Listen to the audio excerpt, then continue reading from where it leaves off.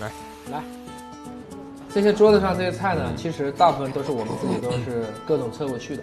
啊，现在这个全世界已经完成了动植物的基因组呢，嗯，大约就是植物三四百个吧，动物多一点，有个几千个。有个几千个。我就说啊这个中国科学家，嗯华大在其中也起很大的贡献，占了百分之多少？四十，四十。四十，这比元素周期表我们的贡献就大多了。对，嗯，这是什么呀？你有那个啊这还是小米的小米加猪再加葱的，对，这里有好多以小米为主的一个食材，小米蒸排骨，小米。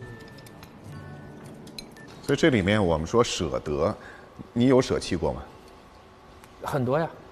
美国副总统、前副总统戈尔写了一本书，叫《未来》，里面说了，到二零一二年之前，全世界百分之四十九的数据是在华大这一个，它叫超级测序中心里面产生的。我们的确是扛洋枪打洋仗，把全世界基本上所有做基因测序的这些都送到华大来，然后我们就被卡脖子了。就是你太强了以后就会被卡脖子。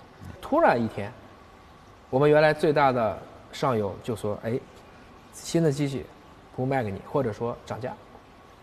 啊，旧的机器保修跟买新的价格差不多。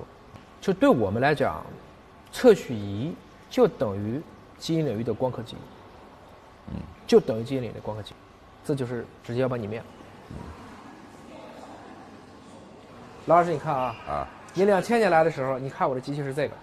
那个时候是第一代的是这款产品。啊，就这个这个对啊，三七三三七七是这个。对。后来呢，就是我说的，我们来到深圳以后，嗯，技术迭代了，发生进步了，对。就扛洋枪的这个打全球仗的时候 用的就这个，Illumina。Illumina，就这个机器，当时一口气买了它一百二十八台，啊，就基本上那时候一台设备多少钱？呃将近快一百万美金，也就是六百万人民币左右600万报人民币价当然啊给我批量是有打折的，是没有对。，嗯，相当于我买这老大的设备，去打老三。嗯后来把老三快打残的时候，老大要卡脖子，老三说：“要不你考虑收购我吧。”两千零二年的七月份，很不容易，我们就咵一下就飞到加州，就开始去讨论。但是华大没有钱，收他还得支付过桥贷款。这个时候是谁支持了呢？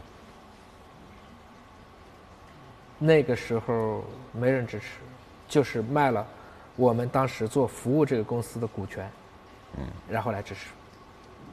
过桥贷款一个月六百万美金，收购不成，过桥贷款他就白花了。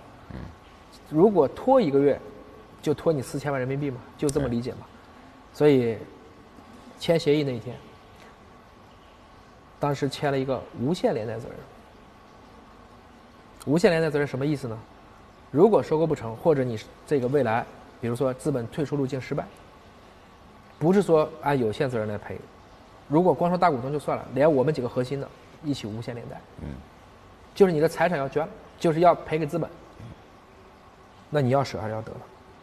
就拿这个协议，我们哥几个就在商量，嗯，当时我徐迅，研究院院长，还有啊另外一个就是那个公司当时的这个总经理，我说我们哥俩就跟你签了，完我们俩撑着你，就这么着吧。嗯，签完字了交过去，王老师把这个拿过来了，跟资本说，我一个人就行了，这几个不能，还没挣过钱，其实他也没挣过钱，你就会明白，向死而生嘛，你把牌打光了，自然就有曙光来了。已经走到悬崖边上的感觉嘛。你不走是死路一条，因为已经掐你了嘛。你走，你可能还有希望。老老实实这样子，就是说很多的点上，你退了，这个领域就退了，退了就清零了。这个可能这个国家就没有这个品类了，从此。对，但是九死一生，你为什么？如果你是为了科技，是为了在这个行业掌握最根本的第一性原理的，它就是值得的。嗯消化吸收再创新，就变成了今天大家啊，中国人就有这个测序能力了。